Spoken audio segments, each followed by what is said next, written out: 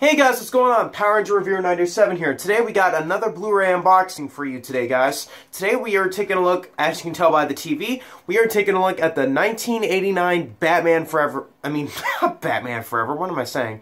The 1989 Batman, the very first Tim Burton film that started it all, the movie franchise.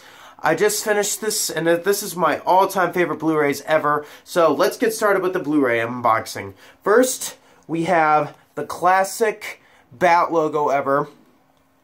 Batman logo. We got Michael Jack Nicholson, Michael Keaton, and Kim Basinger. Michael Keaton is, in my opinion, the only true Batman. We got the spine. And we got the back. And I got this at FYE for like 10 bucks, so... And uh, let's get started right, right here.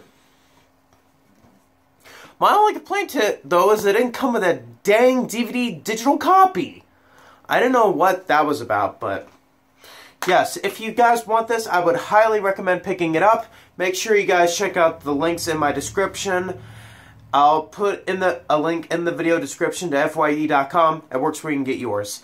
And make sure you check out my sponsors, Big Bad Toy Store, Entertainment Earth, and of course, Leave a like, favorite, comment, and subscribe. Of course, this is Power Ranger 97, signing out.